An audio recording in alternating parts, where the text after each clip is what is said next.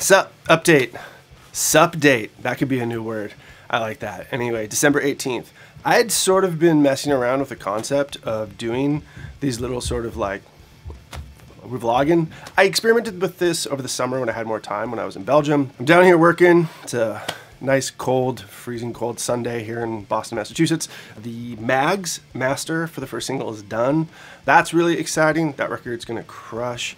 Uh, over there, we've got football game hoping that the Jets lose, so that helps the Patriots. I'm going to be working with some mentoring students today, which is cool, um, digging into their stuff. I haven't taken on as many of those as I have in the past just because my schedule's been a little bit busy. But if you're interested in doing the mentoring program with me, uh, shoot me a DM or I can send you the contact for that. It's been really dope. And I've gotten to meet so many cool engineers and like it's been really helpful for them and really fun for me. So that's cool too.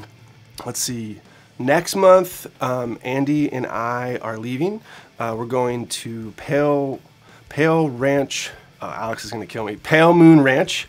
It's in California, and we're going to go do. We're going to start tracking the first Death of a Nation LP. This is the first LP that uh, we've done since Empty Days and Sleepless Nights, back in 2011. So it's mostly written. The songs, the songs are really good. I think, um, you know, having taken like such a long break for such a long time, coming back and writing again, especially I'm like a lot older now too. It's like writing this energetic stuff. But I think the break was helpful because I think, I don't think I would have written this had I sort of been like low on creative gas, not as much fuel in the tank. I don't know what I'm saying. But basically, what I'm saying is that a long break with writing with Andy, we did four songs like in 2017, and then another break.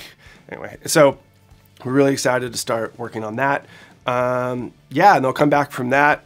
And then I start an LP in February with Salem Wolves. So we'll be doing that here. Maastr is doing great. Uh, if you haven't tried it, definitely try it. If you don't know what it is, it's a in my opinion, the best sounding artificial intelligence mastering algorithm on the internet. But we've also added a bunch of really cool stuff too. So you can use it uh, as like a collaboration tool for like you and your bandmates and a mix note tool.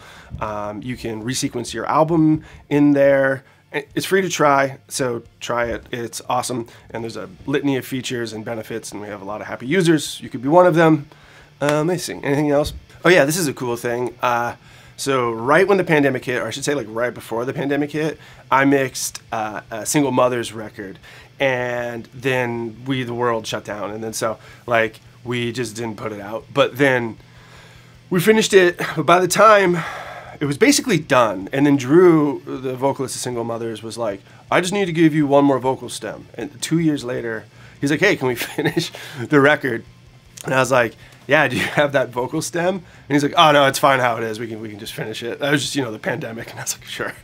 Anyway, in that time, he had written a whole other record, so he asked me to mix that one too. That's called Roy, and I guess the label's doing something really cool where they're like sending copies. So we, we backing up, like we had two LPs at the same time, mixed, like finished, and totally unreleased. So we released the one, and then Roy has just been like waiting in the wings. So today on Instagram, I saw the label sending out copies of Roy to people who bought copies of the first one we did, and then so I guess people are starting to get that record now. So I, I don't know when it's going to be out on DSPs and stuff, but I thought that was a really cool little thing that's happening. So and both LPs are sick too. So check them both out. And for the the very special lucky of you who got Roy, uh, nice, congrats feel free to uh, let me know if this is a waste of your time in the comments or if like just stuff like this is you know content is cool. So yeah. All right. 42 year old man posting on the internet. Let's do this